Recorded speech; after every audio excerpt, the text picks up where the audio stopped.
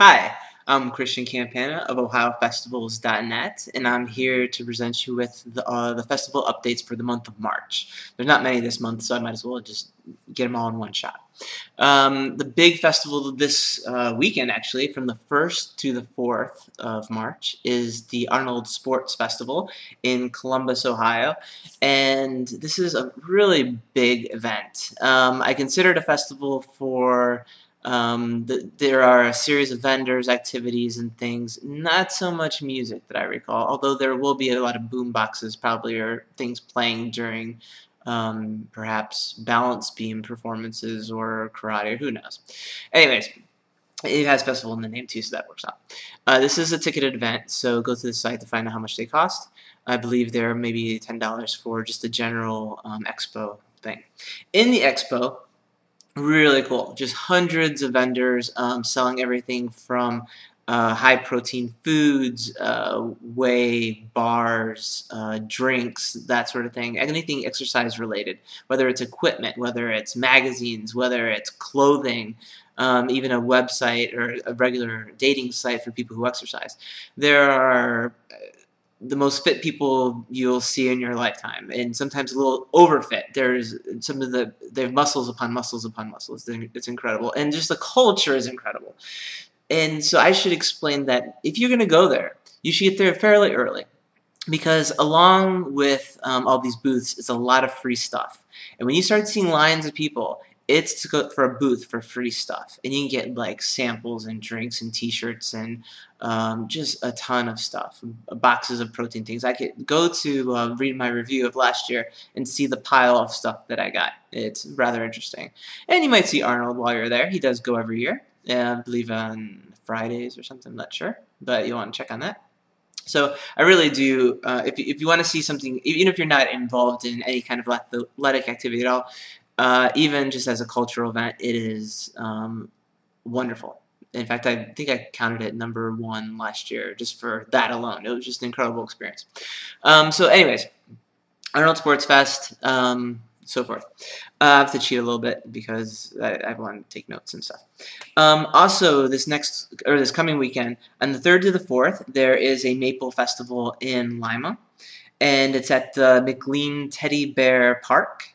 There are some free tours. Um, take you to the Sugar Shack, get some tastings of maple syrup. Uh, maple products, uh, different foods. I'm not sure if the foods are festival related. I mean, I mean like maple related or not, um, but there will be food sold there. And both this weekend, the 3rd and the 4th, and the following weekend on the 10th and the 11th, there's a maple syrup festival in Lucas, which is um, outside of Mansfield.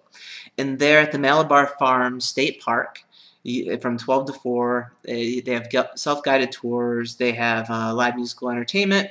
Um, food includes maple products, uh, such as like maple nut fudge, homemade, I believe, uh, maple cotton candy, maple popcorn, and there's other food and maple products available for that. So I'll probably go the weekend of the 10th and 11th, so you might see me there.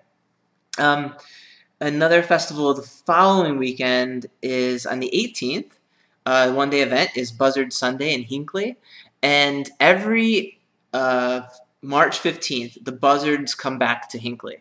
And there's this cool story about this great Hinckley hunt where like the the settlers shot all these buffalo or uh, now I don't a lot of animals, let's just say that.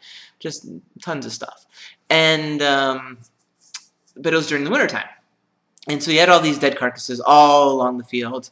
And then when things started to thaw, the buzzards came, and they had such great meal that legend has it they keep coming back on the exact same day. Uh, so March 15th is the day, and at 7 o'clock in the morning at the uh, Cleveland Metro Parks Hinckley Reservation, you can go there, and I think there's a tour. You can go check and watch the buzzards come in. It goes from 7 to question mark a.m., of course. But on the 18th, which is uh, that Sunday, Buzzard Sunday, uh, they have special activities at the Cleveland Metro Parks Hinckley Reservation, and they bring in um, live uh, buzzards. I think they had two or three last year, with people there to teach you about them. Um, you see how far their wingspan is. It's incredible. There's a review on this too at the Ohio Festival site. And there are other animals, I believe. I think there were snakes and other critters. Uh, there is musical entertainment. There was a Boy Scout sort of activity obstacle course last year. Uh, and there is food with uh, maybe a buzzard related name, such as I think I got a buzzard burger that was rather tasty. And um, and it, the park itself is pretty nice. So I would go and check that out. They also have, you can buy a buzzard hat. They had buzzard cookies um, and other things. So definitely worth seeing. Um, other than that, there are a few other festivals listed on the blog uh, in the schedule page, but some of these I don't have much information on, and I, I tried to find official websites, but it was sort of shady. Um, so if you're in the area for some of these other festivals like Sardinia, Greenville, um, uh, you know, hopefully the local paper will be able to get you to them. And if I do find more information, I will post on the Ohio Festival's Facebook page. So keep informed with that. Um, other than that, uh, look forward to catch you up with April and hope that you have a wonderful festival month. Okay, take care.